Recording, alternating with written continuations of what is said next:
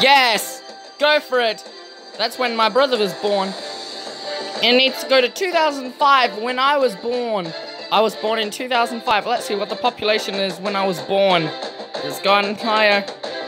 It's not 2004, that's 2005. Yes.